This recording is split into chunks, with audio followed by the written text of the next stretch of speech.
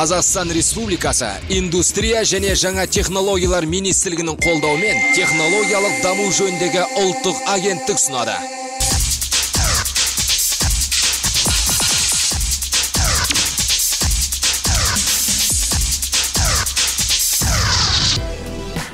Өмір жол.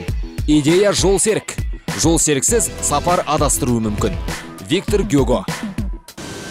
Павлодар қаласының өндірістік аймағында орналасқан нефтехим ЛТД кәсіпорны 2009 жылы іске қосылды. Өндіріс орнының қуаты жылына 30 мың тонна пропилен өндіруге жетеді.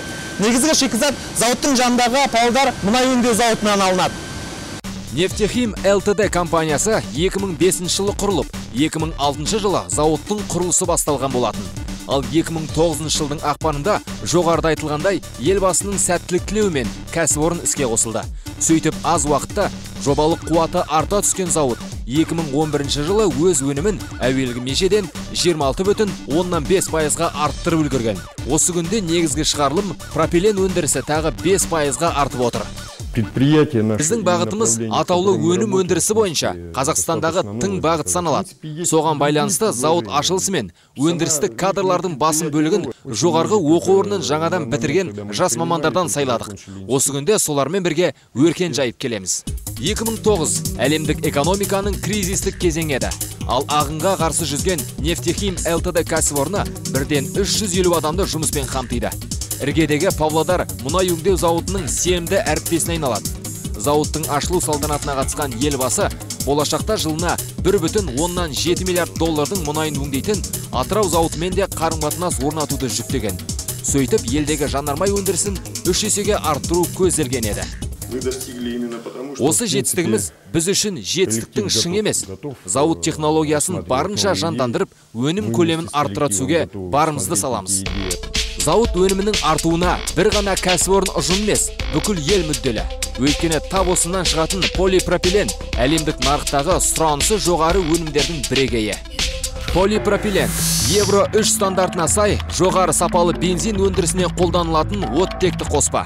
Сонымен қатар акрилді сірке қышқылын, каучук түрлерін, жуу құралдарын, мотор майының қоспасы мен тағы басқа органикалық қоспалар өндірісінде қолданылады.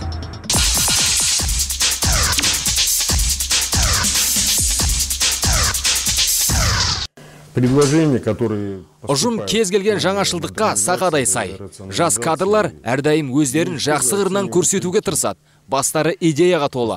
Тиісінше пайдалы идеяларды жүзеге асыруға бізде дайынбыз. Аз жылда көп жетістікке жетуіміздің сыры осы. Рационализаторлық ұсыныстың өндіріс үшін маңызы зор. Әсіресе іске асқан сәттен ақ экономикалық тиімділігі байқалатындары. Асылбек Найманұлы реактор полимеризатор қондырғысында реакциялық өнімді арттыру атты рационализаторлық жобаның авторы. Атаулы рационализациялық жоба арқылы полипропилен өндірісінің технологиясы жаңғырып, кәсіпорын экономикалық түсімге кенелген. Жұмабеков Асылбек Найманұлы 2008 жылы Сұлтан Махмұд Торайғыров атындағы Павлодар мемлекеттік университетін бітірген. 2009 жылдан Нефтехим ЛТД компаниясының қызметкері. Э. Маған полипропилен өндірісінің технологиялық процесін жаңғырту жүктелді. Сөйтіп реактор полимеризатор қондырғысындағы газды фазалар салқындатқышында реакциялық өнімді арттырудың жолын таптым. Бұрын 4 тонна шикізаттан небәрі 2,5 тонна өнім алынатын. Қалған 1500 келі өнім қалдыққа жатқызылушы еді. Асылбек Найманұлының рационализаторлық шешімнің арқасында жаңа технологиялық процесс 4 тонна пропиленнен 3700 келіге дейін полипропилен аларлық мүмкіндік туғызды. Раньше мы работали стабильно по Бұрын біз полипропилен по өндірісінің қытайлық жобасымен жұмыс істегенбіз. Тіпті ол үшін Қытайға барып оқып қайттық та. Много денег потратили. Шетелдік мамандардан тәжірибе алу, өндіріске мердігерлер тарту барысында көп қаржы шығындаған едік. Ал қазір бір ғана рационализаторлық она жобаның арқасында зауыт өнімін бірден 27 пайызға көтеріп отырмыз.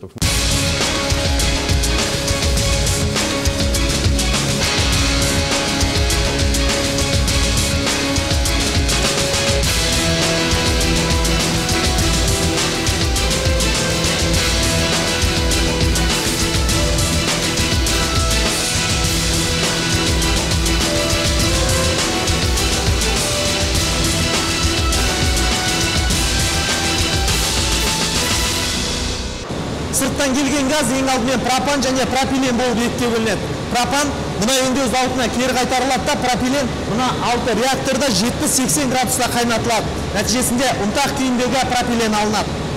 Ал рационизаторлық шешім авторы өз ұсынысы арқылы өндірілетін өнім мөлшерін бірнеше есеге арттырған.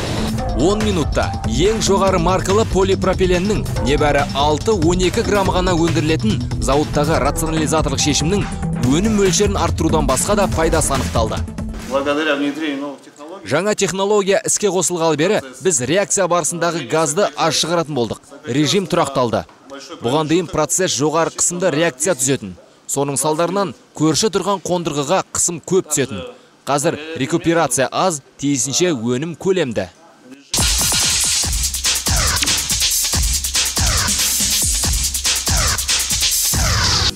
Зауыт зертханасында дайын және жартылай дайын өнімнің яғни мына қантқа ұқсас полипропиленнің сапасы анықталады мәселе мына пластометр деп аталатын аппарат полипропиленнің маркасын анықтайды пластометр полипропиленнің А, Б, В деген үш маркасын жіктеп береді. А маркасы 98% метил трет бутилді эфирден, 1,5% спирттен, 1,5% көмір судан, 0,1% ылғалдан тұрады. Б маркасы 96% метил трет бутилді эфирден, 2,5% спирттен, 1,5% көмір судан, 0,1% ылғалдан тұрады. В маркасы 94% метил трет бутилді эфирден, 4% спирттен, 3% көмір судан, 0,1% ылғалдан тұрады. Осы арада қай-қай маркада да көп мөлшерде кездесетін метил трет бутилді эфирдің қасиетін айта кетсек. Ол мотор майының жоғары октанды, үнемді құрамдасы. Жанармайдың қалдықсы жануына сеп. Зауыт жылына 20 мың тонна метил трет бутилді эфир өндіреді. Полипропилен сонымен қатар нақтылы өндірістік атауға ие тағы 7 маркаға бөлінеді. Олар үлдірлі, құбырлық, құйылмалы, кабельдік, үрлемелі, ротациялық және ориентациялық маркалар. Ал әрқайсының тұрмыстағы қажеттілігін айтсақ. Үлдірлі маркадан өндірісте қолданылатын қалың әрі аса жұқа қапшық жасалады. Құбырлық маркадан газ, арық құбырлар жасалады. Құйылмалы маркадан себет, қорап, контейнер, қақпақ, жасанды гүл жасалады. Рационализаторлық жоба дайын өнімнің көлемін 40 пайызға дейін арттыруға сеп болды. Зауыттың әуел бастағы 30 мың тонналық жылдық көрсеткішін алдағы уақытта 48 мың тоннаға дейін жеткізу көзделуде. Бұл зауыт өнімінің 10 пайызын іске жаратып отырған өз елімізден бөлек негізгі тұтынушылар Түркия, Финляндия, Ресей, Украина мен Қытай тарабының да сұранысын арттырары анық. Мәселен, бұған дейін Павлодарлық Нефтехим ЛТД кәсіпорынның өнімін Украина жыл сайын 2,5 мың тонна, Түркия 6 мың, Қытай 17 мың 512, Ресей 10 мың 140 тоннасын тұтынып келген.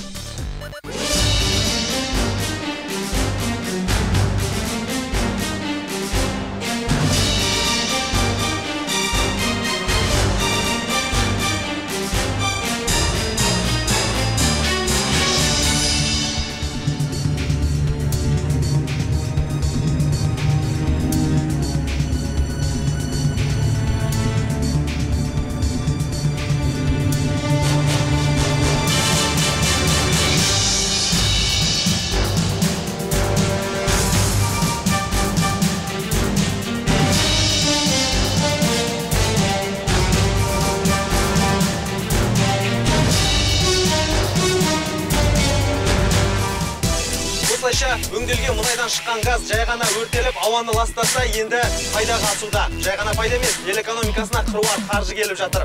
Болашақта өндіріс көлемі ұлғайса табыс та арта түспек.